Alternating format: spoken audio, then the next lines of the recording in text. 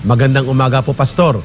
Maraming salamat for your courage, wisdom, and generosity for uh, having a program like this, Laban Kasamang Bayan, sa ating SMNI channel, uh, sa ating SMNI uh, station na siyang nagsisilbing tagamulat at tagapagpataas ng kamalayan ng sambayan ng Pilipino para maging kapartner po ang mamamayang Pilipino ng sambayanan at ang ating pamahalaan laban po sa CPP, NPA, NDF at lahat po ng mga puwersang sumisira sa ating bayan Ah, at ah, upang patatagin ang demokrasya at kapayapaan. And of course, Ma'am Lorraine, ah, kahapon po, Brother Franco, bahagi po tayo ng pagtitipon doon sa ah, basic in uh, internal security operations course class uh, Alabtala alagad ng lipunan binigkis ng tapang at lakas mga PNP ito ma'am 350 PNP officers uh, and personnel na i-deploy sa Southern Tagalog at uh, class uh, Alabtala ng Bisok Basic Internal Security Operations Class. And of course kay Langging at sa Momo Girls sa Scout Frog good morning to you. Magandang araw uh, sambayan ng Pilipino. Ma'am Lorraine. Um, good morning, Eric, Yes, and good morning, Franco. And of course, good morning sa ating mga kababayan and to Pastor. Ano, Eric and Franco, no, I just found out that there are a lot of my friends, pala nagulat ako na this has become a daily habit to them na sinasamahan nila tayo dito. And I'm so surprised kasi, ano, wala lang, hindi sila, akala ko hindi sila ganon. So, and, and they've, they've given me really positive feedback, no? And I want to say hi to them. I want to say hi to my best friend for life. This is Maiza, no? She's based in, ano, Yeah. she's she's a doctor based in Maryland. And of course, he's he, her husband, Vic, who's really, uh, Vic Barella, who is really watching us all the time. Hello, Vic, and hello, Maiza from the. Philippines. Yeah. And of course, to Peach, and the Belus sisters, Belus and Peter sisters. Serrano, and of course, Vilma Absalon. Vilma Absalon ayun and Ma'am Paps Yeah. Ay, I forgot my Pops. Paps. Baka walang kwentang anak. Hello, Pops. hello, Pops. morning Paps Morning. I miss you. I love you. Brother Franco back to you thank you Yan, morning Pops at uh, good morning sa lahat ng ating mga taga-suwaybay ng uh, Laban Kasamang Bayan. Muli, isa na namang uh, makabuluhang talakayan ng ating uh, Yes. ipaglilingkod sa ating mga manonood dahil uh, ngayon kaya Eric ay uh, muli meron tayong uh, magiging uh, panauhin Mm. mula sa DOTR. Ah, nandiyan na ba? Wala pa, wala Ah, pa wala ka, Eric. pa. Pero Okay, maya-maya, okay. ang Sige, ating mga kasama. Pero bago ang lahat ka, Eric, ay may inilabas na pahayag Mm. ang isa sa ah, ah, Ah, hir- nahirapan ka, no? nahirapan ako. Di ko alam kung ano ipapangalan sa kanya. Sabi ko, ako, ako na ako na Ikaw na bumahala. Franco, saluin ko siya. Hirapan ako anong Ma'am Lorraine, papangalan saluin ko ko si eh. Brother Franco Yeah. Ah, may inilabas na pahayag ang urban operative na ang pangalan ay Nery Colmenares. Dati itong representante ng Communist Party of the Philippines, supporter ng NPA ito, na pumasok sa Kongreso. Talagang Yes. direktahan kami pag uh, nagsabi nito. Ah, ito ang pangalan niya, Nery Colmenares. Ma'am, mamaya pupuntahan natin siya dito ah, sapagkat ah, gusto kong kunin ang inyong opinion. Naglabas siya ng maanghang na pahayag at ito ay pahayag hindi lang ni Nery Colmenares ng ah, Kamatayan Black Party List o ng grupo ng mga Kamatayan Party List ng CPP, NPA, NDF. Ito ay pahayag mismo ng ah, buong Communist Party na ibinababa nila Ma'am Lorraine Brother Franco sa mga urban operators kagaya ni Nery Colmenares. Ang sabi niya, yan no, the call of Marcos for unity during the campaign is now proven as an empty campaign promise as there can be no unity and social cohesion uh, for as long as militarists, human rights violators, and red taggers control the state security forces and the government. Quote and unquote, CPP, NPA, NDF, Nery Colmenares, bayad muna. So klaro ha kung kanino nang galing yon. Yeah. So hindi nakakapagtaka yon ang line na yon.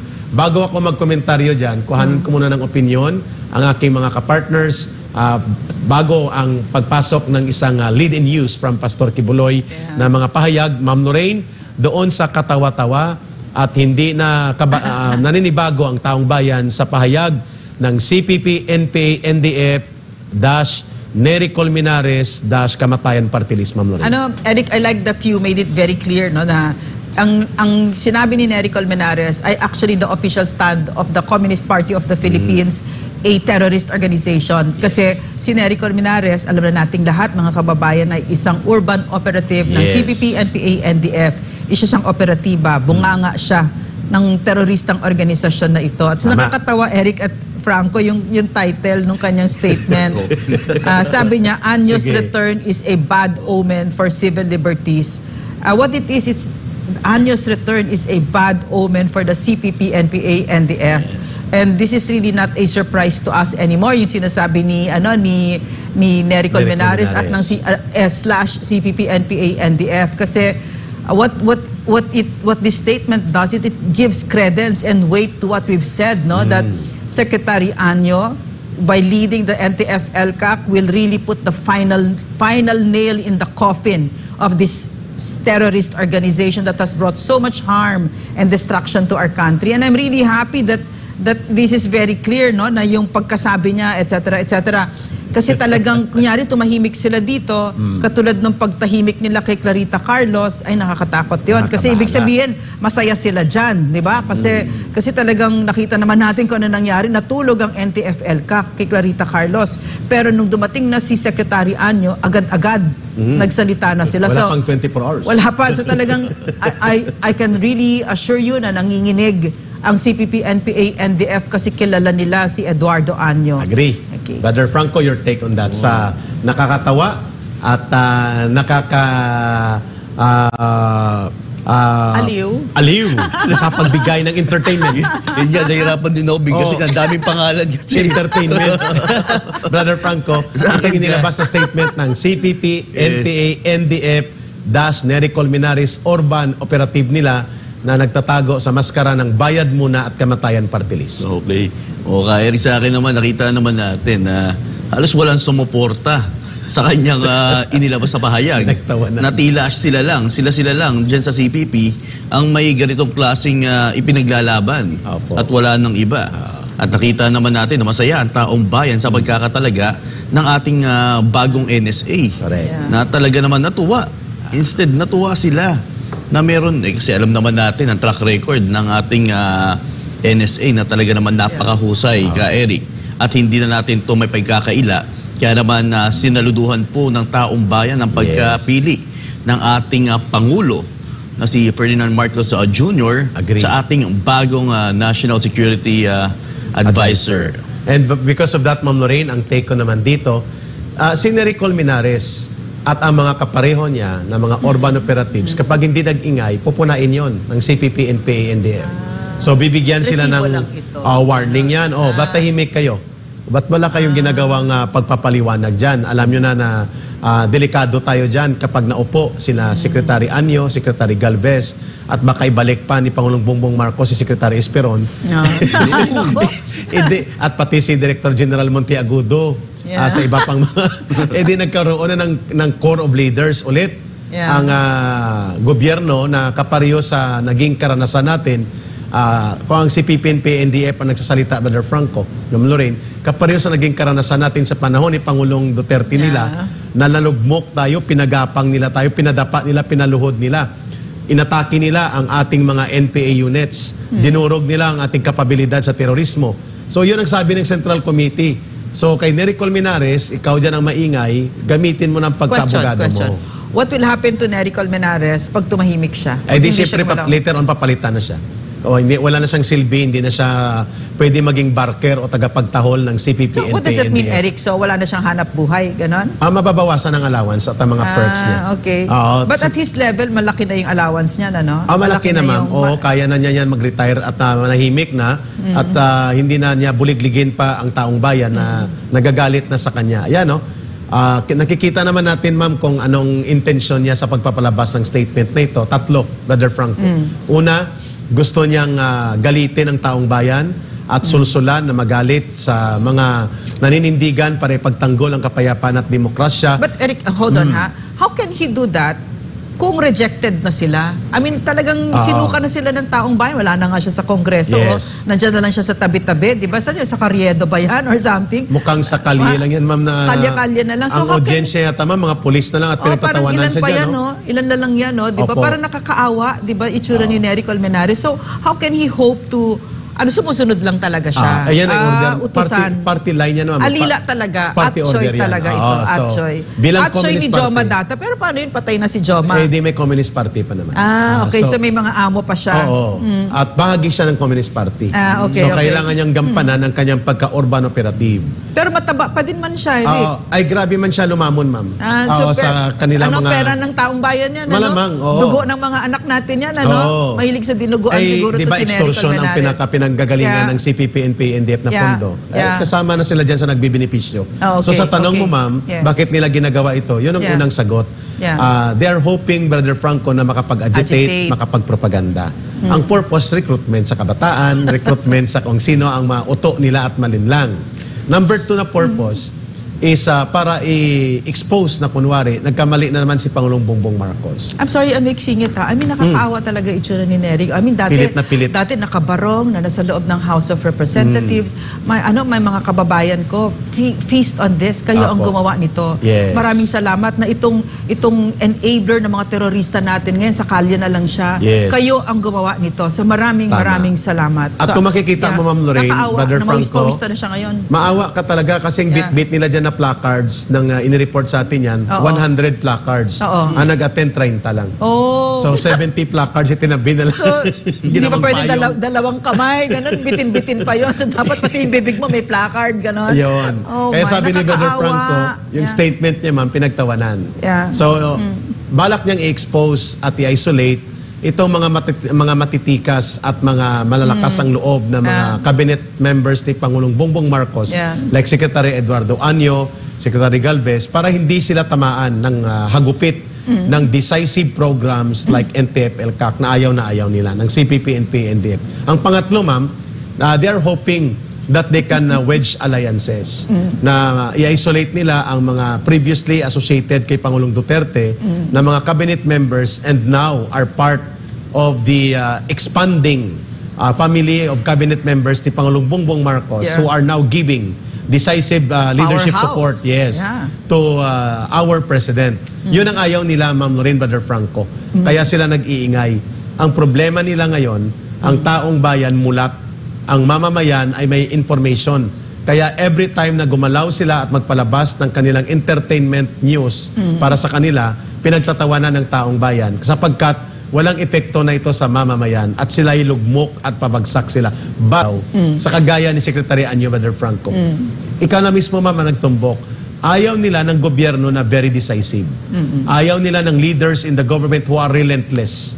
Yung kaya silang tapatan at kaya silang ah, hambalusin ng batas at kaya silang tapatan sa kanilang pagkapursigido sa pagwasak sa ating bayan. May nagtatanggol din naman na pursigido at ang pinakaimportante na ilagay si ah, Secretary Anyo ngayon bilang overall trusted uh, cabinet officer of the president to orchestrate the overall implementation of the National Task Force to End Local Communist Eric- Armed Conflict. Eric, ano, in other words, di ba yun yung sinabi natin, no? A real public servant that one that one really scares the Yes, CPP and PA correct. NDF. Diyan sila natatakot. Yung totoong lingkod bayan na talagang naglilingkod sa bayan. And, Tama. and Secretary Anyo is one of them. And in fact, Eric, uh, during his sti- stint as the DILG Secretary, Yes. siya yung namuno dito sa Barangay Development Program. Correct. It was highly successful. So, takot na takot dyan ang CPP, NPA, NDF. And when you, it's funny when you meet Secretary Anyo, he's just humble, he's just Ah, quiet, he's just soft-spoken, pero hindi niyo alam Yung puso. his, his heart and his will.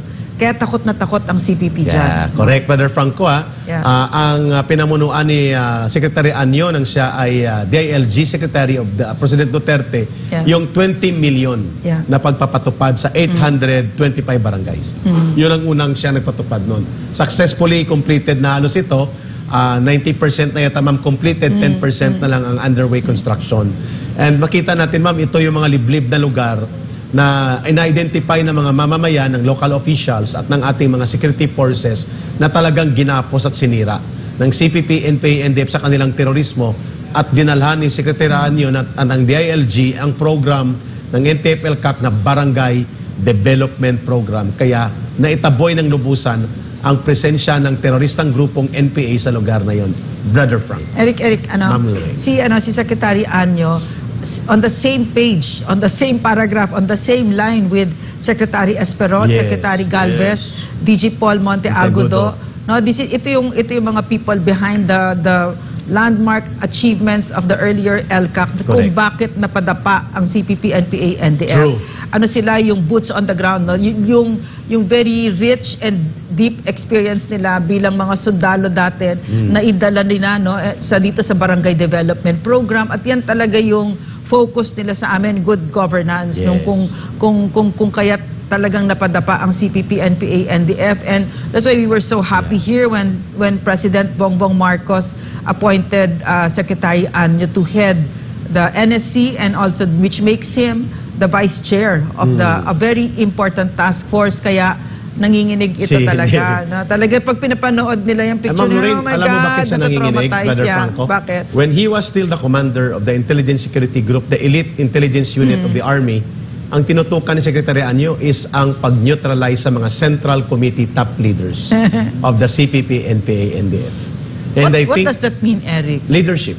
Oh, the leadership. Napaparalisa niya ang leadership ng So- CPP, NPA, NDF. So, so Secretary Anyo is a is a very intelligent Very person. intelligent intelligence A officer. thinking enemy of the CPP and Correct. NDF. At kaya niyang uh, i-identify at palargahin ang makinarya ng gobyerno para tanggalan ng kapabilidad sa pamunuan at organisasyon ang CPP, NPA, NDF which is a number one require- requirement sa pagparalisa at pagkatalo ng CPP, NPA, NDF, Ma'am Lorraine and Brother Frank. And ano, Eric and Franco, it's so wonderful to work with Secretary Anyo kasi yung puso niya talaga sa Pilipino, napakapuro. There's no, walang personal agenda, walang gusto, lang talaga niya makita ang Pilipinas na talagang gumanda at wala na itong salot na ito. Yes. Totoong, ano, totoong very passionate siya about making millions of lives better, Better. and and really for our country to move forward kasi talagang nasadlak tayo Mm. dito sa sa kabuisitan ng CPP, NPA, NDF na to. Yun, so brother. talagang lilipad tayo dito. Tama ka no? dyan, Ma'am Lorraine. Yeah. Brother Franco, may naka-standby tayong balita ah, at ating itong ah, bibigyan din ng komentary. Yun. At gusto ko lang rin idagdag, uh, Ma'am Noreen, ka Eric, ah, napaka-humble din ni Secretary Anyo. Very. Eh kasi Yeah. minsan na rin akong nagbalitan dito sa University of Makati sa UMAC. Yumak. Kaso lang hindi ako pinapapasok. Nung Oo. sinabi kong SMNA ako, Mm. so bawal. bawal, sabi ko, bawal to ah. Tapos Eh, sabi pwede- mo, ABC, eh, may ABS-CBN karapatan- ka, papapasukin Yeah, ka. nga eh. May karapatan dapat ako para mag uh, about sa mga Oo, voting media eh. precincts. Yeah. Kailangan kong magano. Yeah. Pero si Secretary Anyo nandoon. Tinawagan ko si Sir uh, Secretary. Ah, Sabi kasi niya, siyang guest. Oh, siyang ah doon lang siya bumoto. Ah, ah, okay. Eh gusto ko ma-interview. Ah, sige, pasok ka dito. Bahala Yeah. sa'yo. Yun, nakapasok ako. Madaling Yeah. i-approach yan. Nakapa- yeah, napakabait at Ah. uh, doon ko nakilala si Secretary na very soft-spoken Soft-spoken. Yeah, very na tao. soft-spoken. Maliit na tao, Very maliit ang humble. boses, Ma'am. Lorraine, very soft-spoken. Pero Pero, pag siyang, walop. Pag siyang umambanos, walop ang Walop si Nery Colmenares. Kaya siya naginginig. Kaya ganyan yung statement nila. Kaya in behalf of the people, palakpakan natin ang good and very wise decision of Pangulong Yes. Bongbong Marcos for putting up yeah, yeah, Secretary yeah. Anyo. He gets he gets the fullest credit. Mr. Our President. Yes, Thank you, Mr. President. Thank you, Mr. President, and including ang pagkakatatag ah, ng ah, stabilidad ng mga relasyon ng ating security forces. Secretary Galvez sa DND. Yes. And ah, tinanggap na ng mga mamamayan ang ah, muling pagbabalik din ni General Centino as Chief of Yes, Staff of the yes. Armed Now we Forces of move the Philippines. forward. Yeah, moving forward na at nandyan pang pinaka-isa sa respetado nilang leader na si Secretary Eduardo Anyo. Ang ah, gusto pa nilang ah, hinahanap pa ng taong bayan, maipwesto din ni Pangulong Bongbong Marcos bilang isa sa mga haligi niya, Brother Franco, si Director General Alex Paul Monteagudo ng Wow, National sana. Intelligence Grabe. Coordinating Agency at si Secretary Hermo Hines Yes. Jones Peron. Uh, the team of unity of the nation with Bongbong Marcos sa kanyang campaign team at kan- sa kanyang campaign and mission program will now be will now be accomplished against the real enemies and destroyers of this country like the group of CPP, NP, NDF kung saan kaanib at kasabwat dyan si Neri Colmenares. Can I, can I Frank. just say something, Eric, no? Mm, Lorraine. ayaw natin pangunahan si President Pangulo. Marcos kasi napakahirap na trabaho ang presidency, no? Na um, he really needs to, that, that presidential prerogative of of choosing who he Mm. who, can, who, he- who he's comfortable to work with, 'di ba? So hindi natin pinangungunahan. Yes, agree. But but uh, with people like Secretary Anyo, Secretary Galvez, no, talagang uusad ang Pilipinas. Matatapos natin ito. At bakit namin na i-mention ang mga pangalan na yon? At naidugtog namin Brother Franco ni Ma'am Lorraine, si Secretary Speron, si uh, DJ Monteagudo, not because they serve under the former president, but No. because of the things and the and uh, the capability and competence that they can bring into the governance and administration of Pangulong Bongbong Marcos. You know, it's really funny, Eric, Yeah. no? Ang ang taktika kasi nitong mga dilaw, mga pula, mga kaaway ng ng gobyerno, parang hinahati nila ang Duterte followers and the Marcos followers. Pero unity team talaga Mm. Yes. kasi I'm, I have ano, a lot of FaceTime with the former president and ano, every time, over and over, what you hear from him, you know, my time is over. Mm. Tapos na ako. Yeah. Let's support our president. All of us here, we support him. We give him our best support kasi tinutuloy niya talaga. Napakahirap na trabahong yan.